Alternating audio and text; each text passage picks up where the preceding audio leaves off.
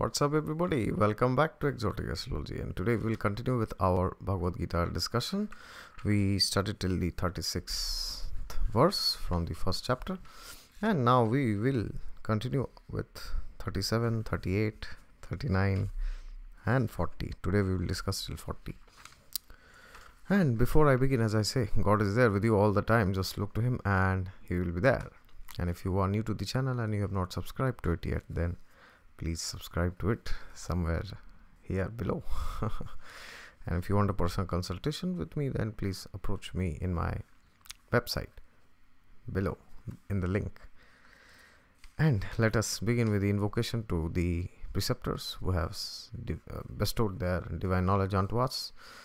अमज्ञान्तिमिरन्धस्य ज्ञानाञ्जनशलाकया चक्षुरुन्मिलितं येन तस्मै श्रीगुरुवे नमः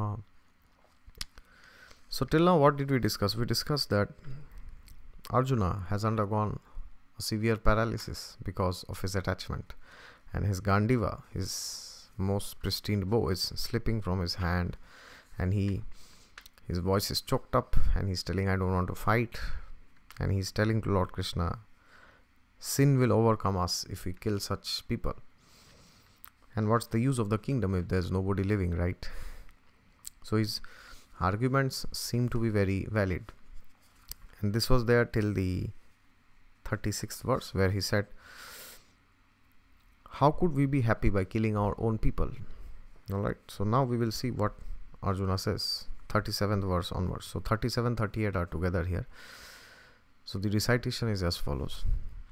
यदि अपि एता न पश्यन्ति लोपपभात चेतसः कुलक्षया कृतम दोषम do understand the meaning of this मित्रद्रोहे च पातकम पातक इज़ ग्रेट सिन कथम न ज्ञानम असमभि।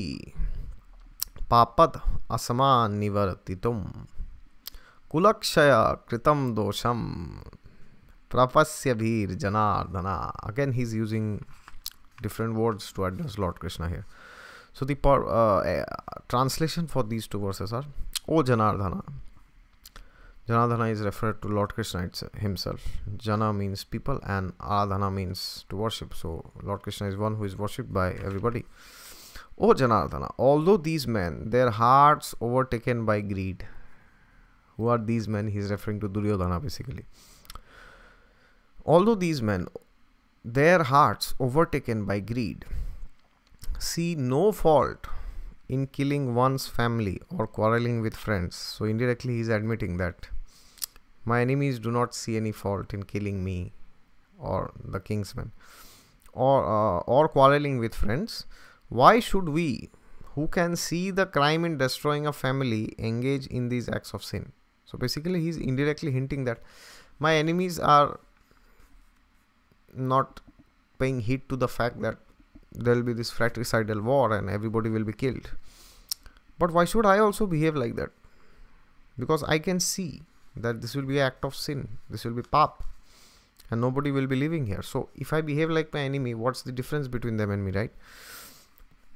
The purport is as follows. A Kshatriya is not supposed to refuse to battle or gamble when he is invited by some rival party. So Kshatriyas cannot refuse two things fighting, battles, and gambling. When invited by some rival party, means when some enemy challenges you in these two. Under such an obligation, Arjuna could not refuse to fight because he had been challenged by the party of Duryodhana. So basically, it's said here that because Arjuna was a Kshatriya and Kshatriyas do not uh, refuse to fight, that is why out of this obligation he came to the war not that he wanted to come and kill everybody in this connection arjuna considered that the other party might be blind to the effects of such a challenge arjuna however could not could see the evil consequences and could not accept the challenge so basically, Arjuna is telling here that the enemy is blind, but I am not blind. They may not be able to see all this nonsense, but I can see it very clearly, distinctly, that everybody will perish. Arjuna, however, could see the evil consequences and could not accept the challenge. Obligation is actually binding when the effect is good, but when the effect is otherwise, then no one can be bound. Considering all the pros and cons, Arjuna decided not to fight. So, this obligation which he is facing, he is feeling that this will not bring any good to me. This so called obligation of not rejecting to fight. Alright, so he is telling, better I not fight in this. So, now we will go to the 39th verse. ಕುಲಕ್ಷಯ ಪ್ರಣಶ್ಯಂತಿ ಕುಲಧರ್ಮ ಸನಾತನ ಧರ್ಮೇ ನಸ್ತೆ ಕುಲಂ bhivita ಅಧರ್ಮೋಭಿವಿತಾವತುಹ The translation is as follows. With the destruction of the dynasty, the eternal family tradition is vanquished, and thus the rest of the family becomes involved in irreligion. So he is very concerned that if I destroy the family structure, there will be mayhem in the family tradition. All right there will be people who will be doing things which are not permissible as per the scriptural injunctions because they will not bring good to the society and the family and the country and the world in general. Purport In the system of the Varnashrama institution, there are many principles of religious traditions to help members of the family grow properly and attain spiritual values. So Varna Varnashrama system basically is referring to Varna and Ashrama. What is the Varna? See, there are two things. One is Varna and Ashrama. Ashrama refers to the importance of our spiritual well-being. All right. Ashrama is to advance spiritually and Varna means to be engaged properly as per our material inclinations. So what is Varna here? Varna means, Varna doesn't mean caste. That's a very perverted uh, translation of the word Varna. Varna means to engage ourselves as per our own default propensities. And there are four Varnas as we know and four ashramas. What are the four ashramas? We have the Brahmachari ashram which is to be a celibate till you get married and then we have the grihastha ashram where we get married and lead a very god conscious life which doesn't happen unfortunately today. People after getting married they completely neglect god and spiritual principles and that is why people are so much miserable these days. Yes householders most of them as i know even in my family and so many people as i see around. And then after a certain age when you are done then we go to the forest which is the Vanaprastha ashram, the third ashram.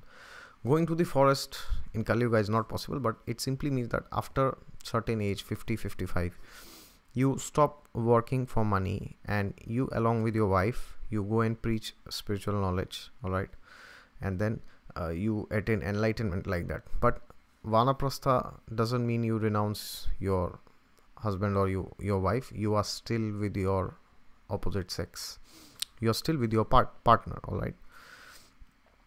But the difference between grihastha and vanaprastha is uh, the there's no physical union. The couple doesn't unite physically when they are in a vanaprastha ashram. And then the fourth ashrama is the order of sannyas where the person leaves his spouse and then the person goes to preach spiritual knowledge. And there are different kinds of sannyas also kutichak bahulak Parivrajacharya and Paramhamsa. These four orders of sannyas is also prevalent. We will go to the four orders of sannyas some other time, not today. And then we have the Varna. Varna refers to caste, right? No, no, no. It's not caste. We have the Brahmanas, the Kshatriyas, the Vaishyas, and the Shudras. Brahmanas are the intellectual class. All right, they read the scriptures. Pujan, Pajan, Patan, Patan, Yajan, Yajan. These six are the traits of uh, not traits these six are the qualities of brahmins. Means these are duties not even qualities i would say. Duties means they should read the scriptures teach others the scriptures. They should do yagya and they should uh, they should do yagya in their own house and go and do yagya for others also. They should accept charity and give charity. They should do puja and they should uh, in their own house and do it in others house also. These are qualities of brahmins spiritual knowledge to their that's their duty to bestow spiritual knowledge to others and to themselves also. Then we have the kshatriyas. Their duty is to rule and ensure that there is a overall order pertaining in the society as per the scriptural injunctions. And then there are the vaishyas. Vaishyas are the merchants the working class the money people and then we have the shudras who are the fourth uh, in the varna system. They are the ones who help the other three classes in menial works like menial service and cleaning like and so many other things which the other three classes uh, cannot do because they are engaged in much higher activities. All right. So that's the system of varnashrama. So varna is for the body and ashrama is for your spiritual well-being so in the system of varnashrama institution there are many principles of religious traditions to help members of the family grow properly and attain spiritual progress. So everybody is engaged as per the varnashrama system in the vedic culture. We have the example of uh, Rishabdev in the Shrimad Bhagavatam who had 100 sons. And most of them uh, took to the family order right to the Grihastha and 19 of them I guess took to the renounced order. And this is how it happens. Just because you are the son of a Kshatriya Rishabdev was the king it doesn't mean that you also have to your son also have to be a royal person all right? He or he can also be a renunciate. He can also go and preach spiritual knowledge all right? And then there are so many other examples also of people who are born in a particular family and then they are engaged in other acts depending on their own nature. And we also have the example of uh, king anga who had the son vena. This vena although he was a son of a king but his behavior was like a shudra. He was he was very uh, fallen and he was very merciless. And then later on the brahmins had to chant a mantra and kill this vena all right and even in the mahabharata we have examples the son, son of dronacharya was ashwathama who used to rule although he was a brahmin he was a ruler the elder members are responsible for such purifying processes in the family beginning from birth to death. There are 16 different samskaras which are performed. And there is Garbhadan sanskar which is performed while the child is in the womb of the uh, sorry before uh, a couple decides to unite to have a child. So that's the beginning. Uh, when Garbhadan sanskar is performed before a couple plans to unite, then it is said a good progeny is uh, welcomed there in the womb so that the progeny can become spiritually elevated all right? And then they can help the family also. But these days people will not do garbhadan sanskar. That is why uh, people it is becoming difficult for people to get children who are spiritually interested and then we have annaprashan sanskar and then the last sanskar is known as the antim sanskar when the funeral rites are performed. So all these 16 samskaras are very important for the children to be performed all right from the birth before the birth also. And the elder members are responsible for such purifying processes in the family. So it is the duty of the elders to ensure that these processes are performed. We will discuss on the 16 samskaras some other time but on the death of the elder members such family traditions of purification may stop that is the concern of arjuna and the remaining younger family members may develop irreligious habits and thereby lose their chance for spiritual salvation. Therefore, for no purpose should the elder members of the family be slain. Alright. So that means Arjuna is telling it is the duty of the elders to ensure that these rituals are performed. But if they are themselves not there, who will make sure that these traditions continue? And if these traditions don't continue, their uh, overall spiritual and material well-being will not be uh, satisfied. And by that they will indulge in irreligious acts. They will indulge in sinful acts which will bring uh, pain suffering and misery to their own lives. So arjuna is basically telling that it is very important that these great personalities elders like drona bhishma all of these personalities they should stay.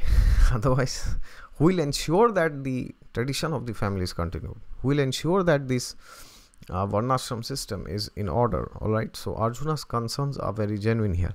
But lord krishna will smash all of these. So wait till lord krishna comes into the picture. It's not over. Arjuna is going to give more arguments. We will see it later all right that is it from my side. If you're new to the channel and you have not subscribed to it yet then please subscribe to it. And if you like this video click the thumbs up and share it with other people who are interested in learning the gita and improving their lives. All right. And if you want a consultation from me then approach me in my website below vedic renaissance. All right. Until next time with another video from the gita. Wish you good luck. Bye bye see you